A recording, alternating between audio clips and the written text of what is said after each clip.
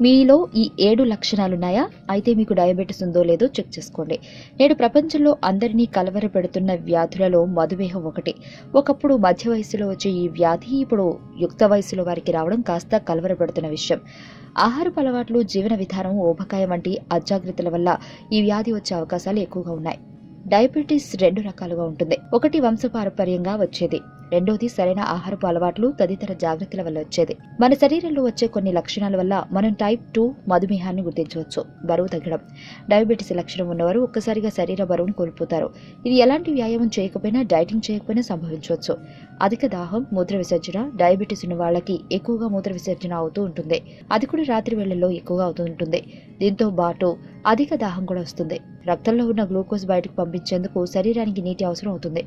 అందువల్ల అధిక దాహం కలుగుతుంది. తాగిన నీరు గ్లూకోజ్తో కలిసి మూత్ర రూపంలో బయటకు పోతుంది. రోజు పది కన్నా ఎక్కువ సార్లు మూత్ర విసర్జన చేస్తే డయాబెటీస్ వచ్చే అవకాశం ఉందని గ్రహించాలి. అలసట.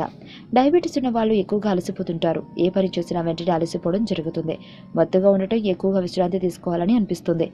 అధిక ఆకలి. శరీరంలో తయారయ్యే ఇన్సులిన్ కణాలు మనం తినే తిండిని సరిగా గ్రహించలేవు. మనం తీసుకునే ఆహారం గ్లూకోజ్గా మారుతుంది. ఆ గ్లూకోజ్ని ఇన్సులిన్ సరిగా గ్రహించకపోవడం వాళ్ళ మెదడుకు ఆహారం పంపమని సిగ్నల్ పంపుతుంది.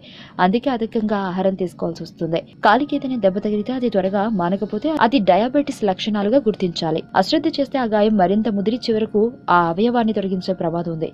కనుక అలాంటి సమస్యలు వచ్చినప్పుడు డాక్టర్ సలహా తీసుకోవడం ముఖ్యం. దృష్టి. డయాబెటిస్ ఉన్నవారికి కొద్దిగా దృష్టి మందగిస్తుంది. మసకగా కనబడడం దూరంగా ఉండే వస్తువుల్ని గుర్తించలేకపోవడం వంటివి లక్షణాలు ఉన్నవాళ్ళు నిర్లక్ష్యం చేయకుండా డాక్టర్ని సంప్రదించండి.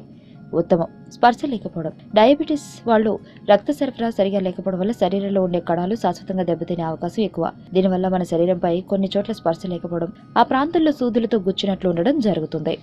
ఆరోగ్యవంతమైన జీవితం కోసం మనం పాటించాలి కొన్ని నియమాలని. చిన్ని చిన్ని చిట్కాలతో చింతలేని జీవితాన్ని ఎలా గడపాలి అనే దానికి వీక్షిస్తూనే ఉండండి మన ఆరోగ్యం యూట్యూబ్ ఛానల్. మరిన్ని ఆరోగ్య సూత్రాలకు సబ్స్క్రైబ్ చేసుకోండి.